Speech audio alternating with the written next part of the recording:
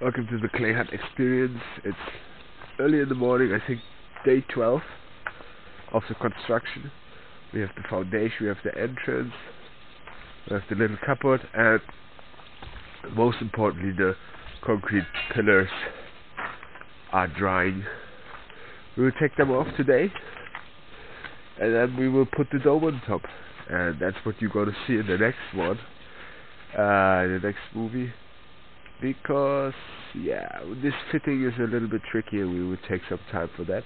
And then in the end you see the inner structure. I told you that on these places uh, these wood beams will come and rest.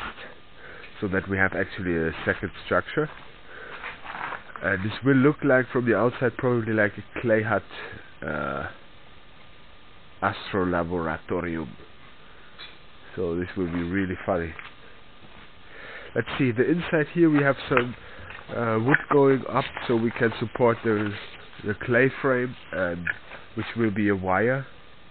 So we wrap around the wire and then we start working with the clay, which will be quite funny.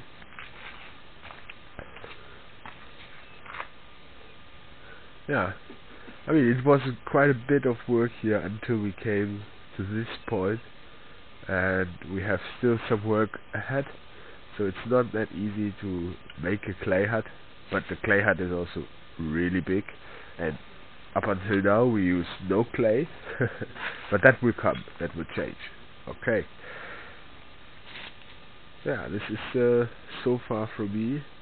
Uh, subscribe like and see you in the next one